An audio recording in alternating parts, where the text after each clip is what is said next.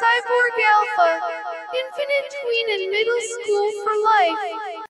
Ah, a few minutes later, just a little after uh, 13 hours into uh, the 9th day of October, and we're back with a package opening because, well, the Amazon package just came in. I don't know where the smile is. There we go, there's the smile. Everybody's happy opening packages, so uh, it's a good reason for to smile.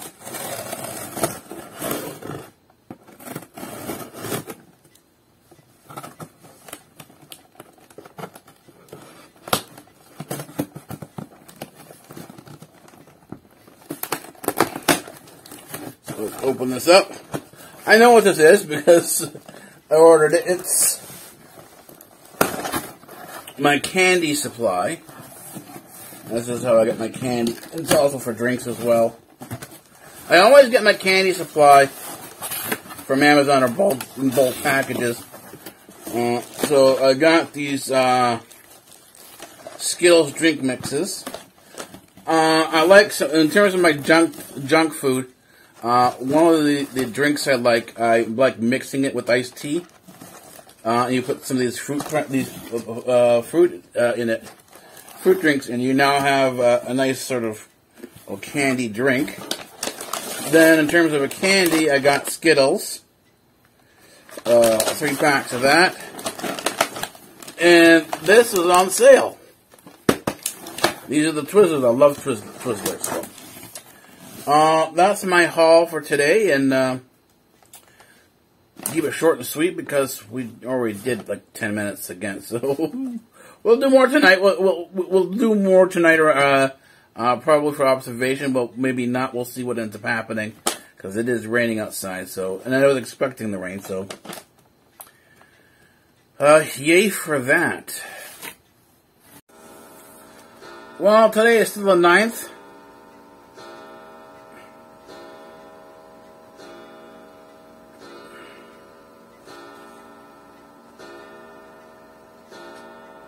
The 9th of October, and the time and the chimes tell us that the, it is now 10 hours into the day, and we're back uh, doing our YouTube stroll. We're at the YAWI Vlogs. This is where we always begin. You know, the, the YAWI Vlogs put out on a daily basis, so back here on a daily base, daily basis for the YAWI Vlogs. So that's what we'll watch them almost every day. I typically go over to our, our, our, our it's our life next, then from there to Leroy's. From there, from the Leroy's, I go to our family nest. And then from our family nest, I go to Family 5 Vlogs. And then I break out into, uh, uh, we'll call the, the sub paths, even along the lines of, of Clintus TV. So, uh, I have a lot of things under, uh, the sub path. So the, the, the watching schedule, the amount of content that I have to watch, uh, actually completely replaces what I had on cable. So I've actually got more content now than I did on cable. So very happy with it. Um, enjoying the walk around, and enjoying the stroll. Just the way Clinton strolls around and does his vlog. This is the same thing here. It's just done virtually uh, on my couch. So uh, just got back uh, from dinner. And I got my new setup. I got my new iced teas here. Uh, these are more of the junk food type of things. This is has got a drink mix in there, and it just needs one of them uh, into the with the iced tea that makes uh, it gives you a, a Skittles type of flavor to it. So I'm having a Skittles iced tea, and I'm enjoying it. So uh, I'll see you in a bit. Uh, we'll see what happens today, and in terms along what I see along the um, a stroll. I finished editing. Uh, I'm now on September 16th. That's the date I'm just finishing. So the 16th is uh, mid-September.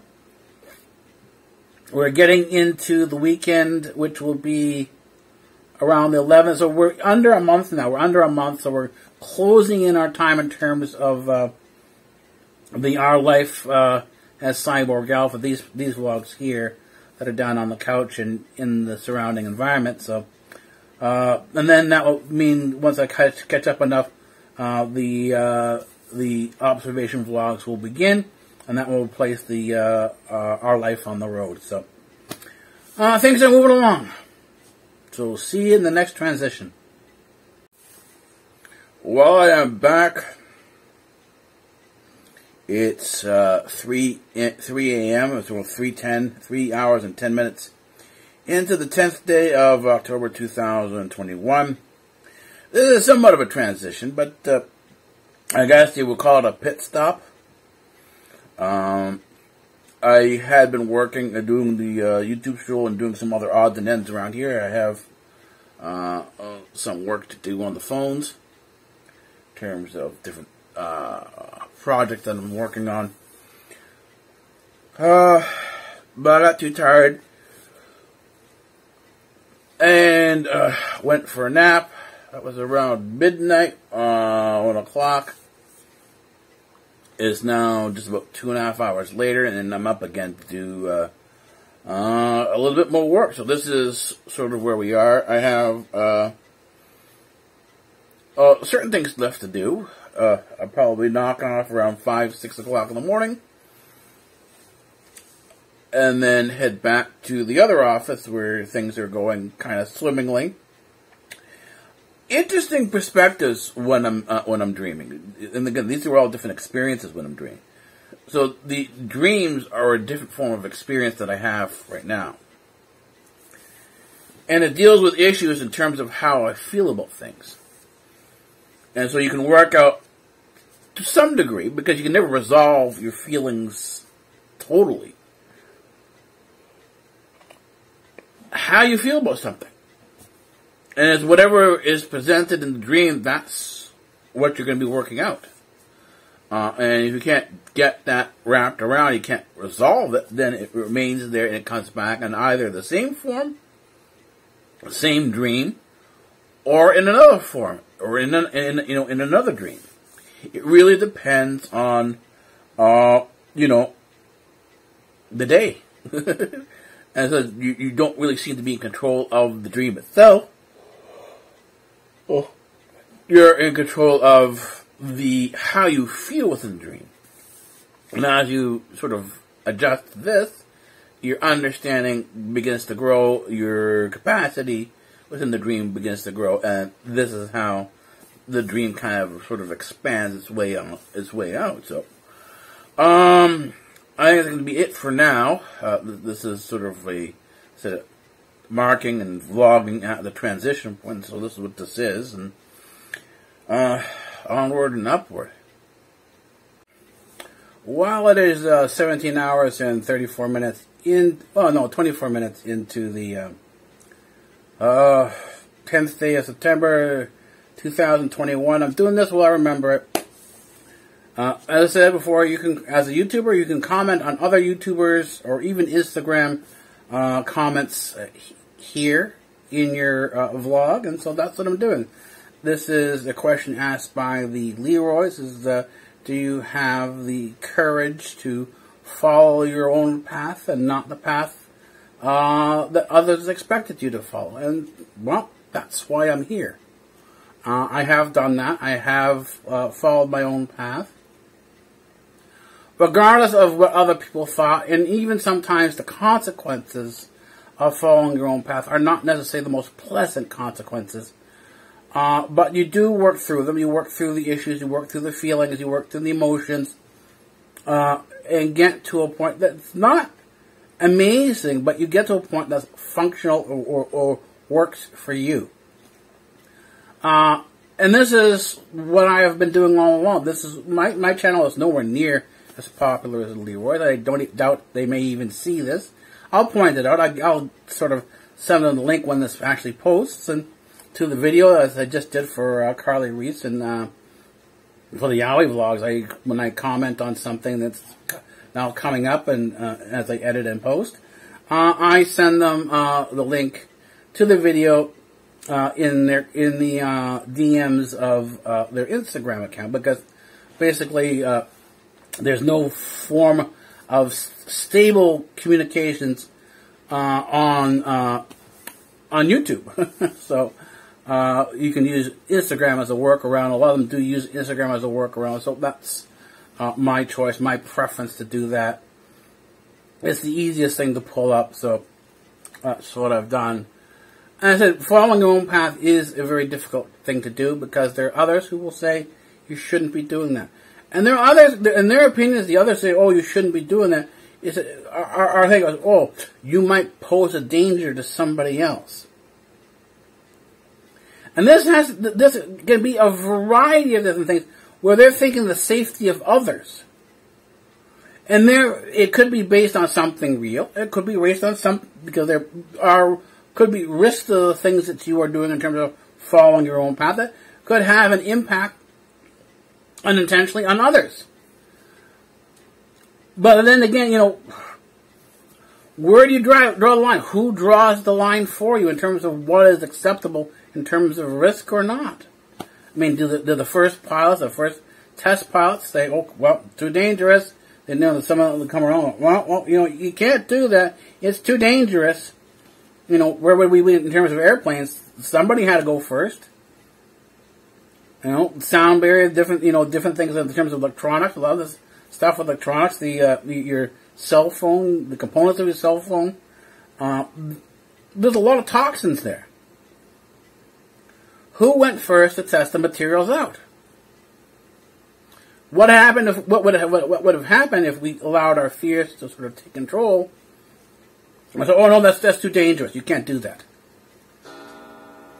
And so there, there, there is a sort of a question of balance here.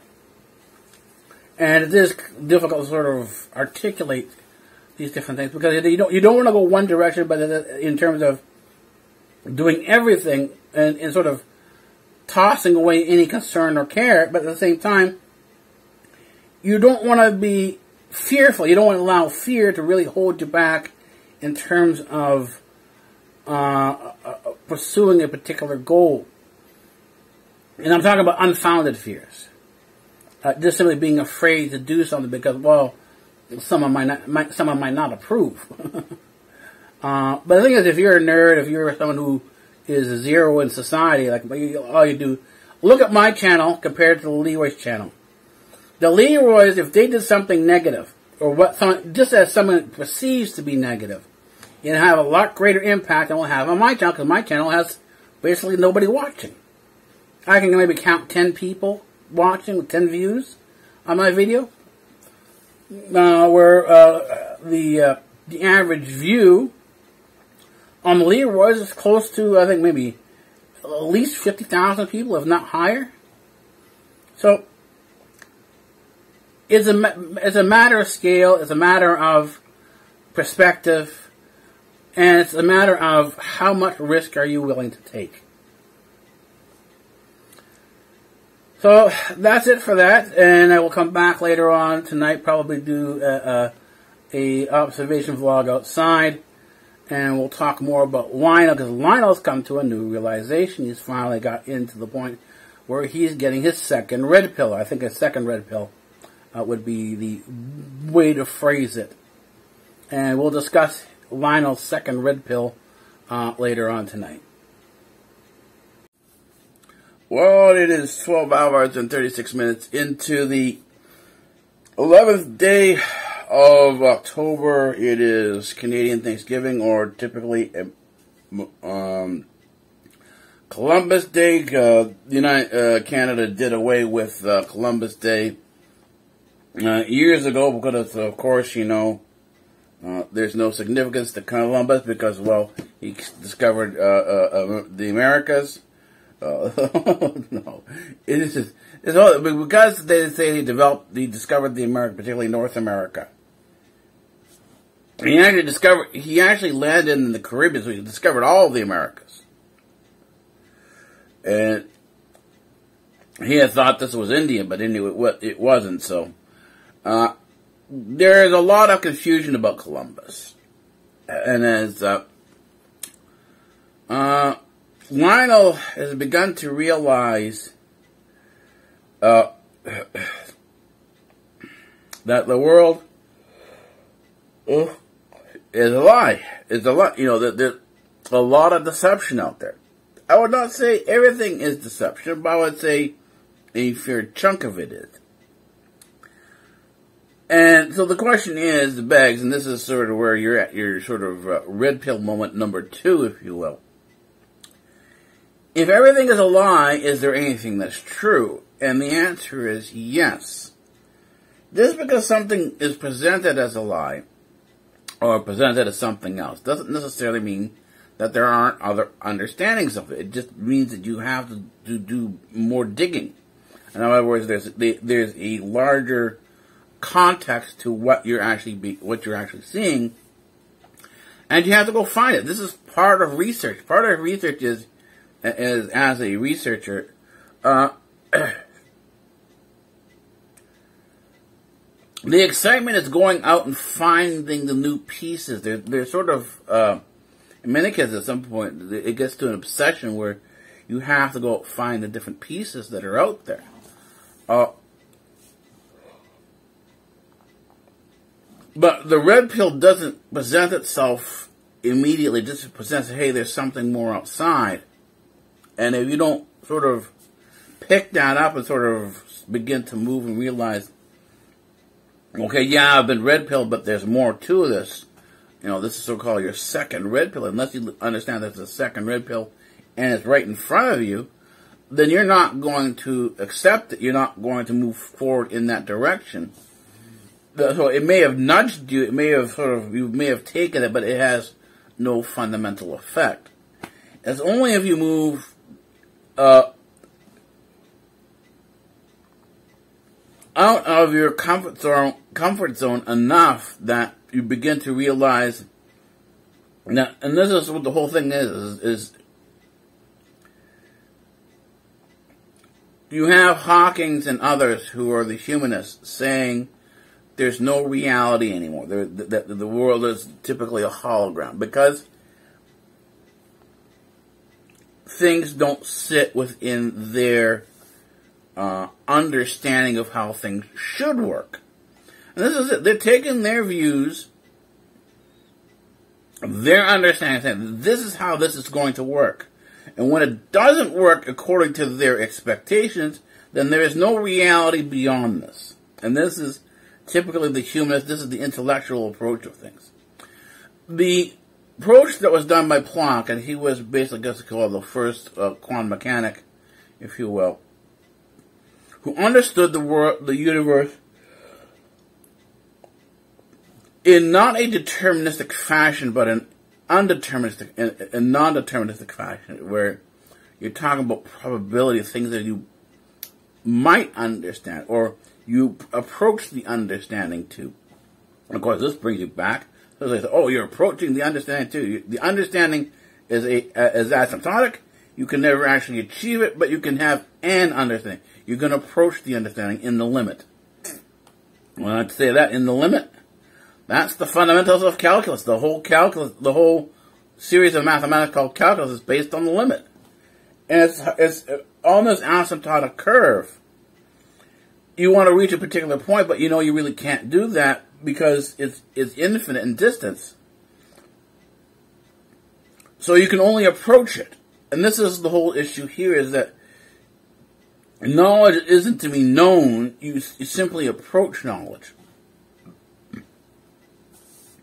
And this causes a problem for a lot of people. If you're a person who is law and order, structure, and so on and so forth, well, the universe isn't going to be very kind to you because it's it, it, you're talking about something that's infinite in nature in terms of its understanding.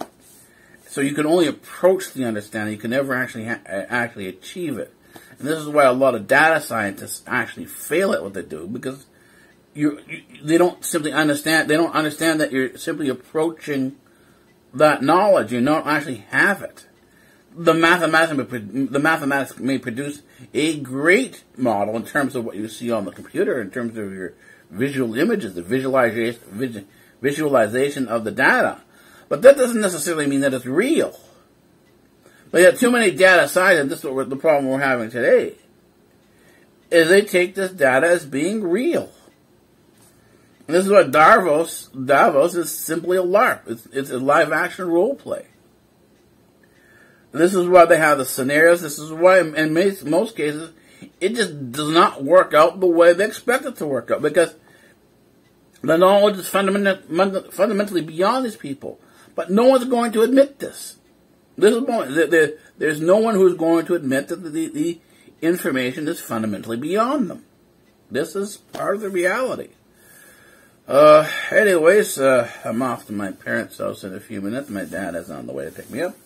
No more scooting for a, for a bit. Uh, there's some uh, hiccups that came into the ride, and the repairs will take close to six months to get everything remedied and uh, back on the way again. So, but the, in the meantime, uh, uh, it's uh, rides once again, looking for rides once again, and that kind of means, well, I gotta go.